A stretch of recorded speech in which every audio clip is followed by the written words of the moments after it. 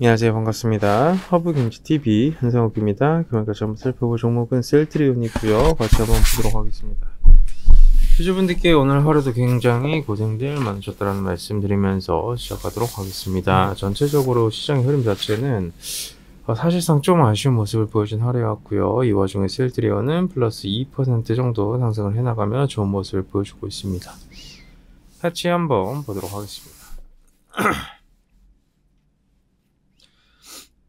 코스피 시장이 0.1% 상승, 코스닥 시장이 0.09% 상승을 해나가고 있습니다. 코스피 시장에서는 양매수 5,100억, 코스닥은 외국인 매수 570억, 선물시장 상방에 뭐 그다지 유의미한 움직임 나와주진 않았고 실트리오는 플러스 2% 정도 상승을 해나가고 있으며 프로그램에서만 6천주 정도 들어와주고 있고 어, 외국인과 기관들 포지션 자체가 양매도 포지션이 나와주면서 어, 조금 주가 자체는 늘려줘야만 하지만 이러한 자사주 매입성 매수 유입과 개인 투자자분들의 박스 하단 매수 유입이 들어와주면서 반등을 보여준 하루입니다. 플러스 2% 정도 상승을 해나가고 있고 어, 호가 또한 마찬가지로 빵빵하게 치워두면서 다시 한번 자리를 잘 잡아두고 있는 상황입니다.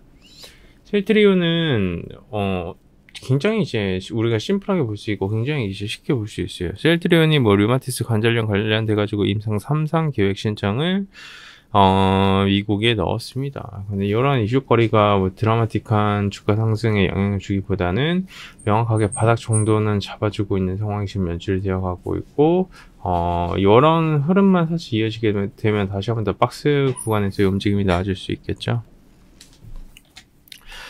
이제 밸류업 관련된 이슈거리가 좀 많이 나와주면서 아 value-up을 진행을 하면 바이오는 value-up을 못하는 건가? 라는 생각을 좀 하실 수 있어요. 근데 어, 냉정하게 보고 조금 더 객관적으로 봤었을 때 이 바이오 기업군들 또한 마찬가지로 돈이 있는 바이오 기업군들을 명확하게 value-up을 하기 위한 노력을 해나가고 있고 그 대표적인 기업이 바로 셀트리온입니다. 그렇기 때문에 주주분들께서도 현재 셀트리온을 들고 계시다라고 하면 여전히 셀트리온은 이 밸류업 수혜를 받아줄 수 있는 기업 중 하나이고 그만큼 어, 노력을 해나가는 어, 그런 상황이다 정도로 보시면 될 것 같습니다. 그렇기 때문에 우리 주주분들께서도 좀 편안한 마음으로 셀트리온은 보시면 된다라는 말씀을 좀 드리고 싶고요. 아 지루하죠.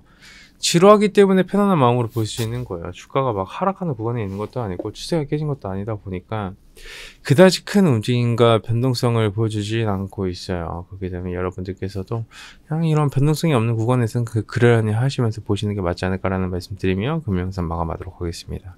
고생들 많으셨고요. 언제나 그랬듯이 저희 허빙제 TV 주도 주치함도 하고 있습니다. 많은 사랑 부탁드리도록 하고요.